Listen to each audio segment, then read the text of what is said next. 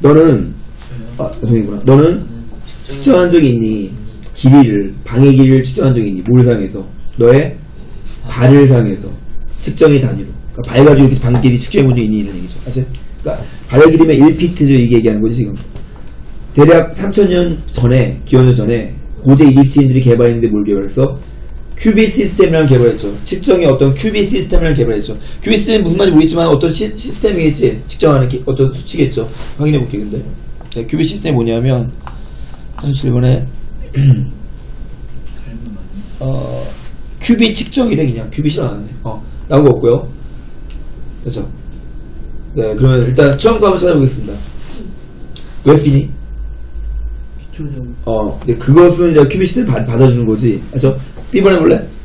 그것은 어, 그것은 기초인데 뭐에 기초했어? 길이 길이에 기초했죠. 뭐의 길이? 부 분인데 뭐의 부분? 팔과 팔과 손의 부분의 길이에, 그 길에 기초했죠. 뭐라기보다는 발이 발이라기보다는. 그러니까 발이 아니라 팔에 기초한 길이죠. 이집트의 큐빗은 뭐였냐면 길이었어. 뭐의 길이었어? 4암인데 4, 4의 앞, 앞전체 팔은 팔인데 어디 앞, 이 앞에 이, 이 부분이 있지. 앞쪽 부분. forearm이라고 하거든요. 그죠? 아, 여기는? 어, 뭐, 나도 확실하게 안 했죠. 배감 정도의 개념이죠. fore가 앞이니까. 사실 확인해봐야 되고. 네, 앞쪽 팔에 해당하는 거죠. 뭐로부터 해? 끝으로부터, 뭐, 뭐로부터? 발꿈 팔꿈치의 끝으로부터 어디까지? 가운데 손가락의 끝까지. 어딘지 알겠지? 여기서부터 여기까지의 길이를 얘기하는 거지. 그죠? 이게 cubit이죠? cubit은 그래서 뭐 하는 거야. subdivide. 다시 한번 밑으로 뭐라는 거 나눠지는 거죠. 뭐 나눠지는 거야? 더 작은 단위로 나눠지는 거지. 뭐 span, palm, digit, part of digit 뭐 이렇게 나눠지는 거지. 이해되니? 네. 아무튼 cubit 시스템 설명했고요. 네, 그 다음에 뭘까? 그 다음에 A 어? A. 네, 왜 A죠? 왜? 어.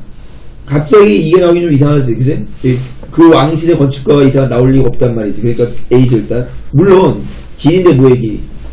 큐빗의 길이는 다양하죠. 사람마다 다양하죠. 그래서, 이집트가 만들었는데 뭘 만들었어? 표준 큐빗을 만들었지. 근데 뭐라고 불리는? 뭐라고 불리는? 왕실 큐빗이라고 불리는 표준 큐빗을 만드는 거죠. 그것은 뭐에 기초했냐면 길에 기초했죠. 뭐에 기초했어?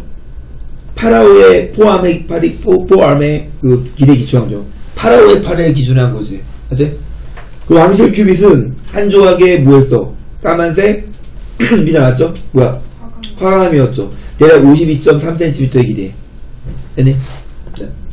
다음에 10번 뭐에 불과하고 왕실의 건축가가 지녔음에도 로열 큐빗을 지녔음에도 불구하고 나무로 된 카피가 못했던 거니 디스트리뷰트 해줬던 거죠 디스트리뷰티드 묘산 묘산 뭐라 할거나 디스크라이브라 할거나 디스트리뷰트 뭐죠? 방에 있는 기호 그 뭐냐 어떤 단어를 외울 때 어, 스페링 하나로 인식하지 말고요 이 문맹에서 녹여놔야 되거든요 그 전체에 걸쳐서 나무로 된 카피가 복, 따로 그 복제본이 distribute 해준 거죠 네네.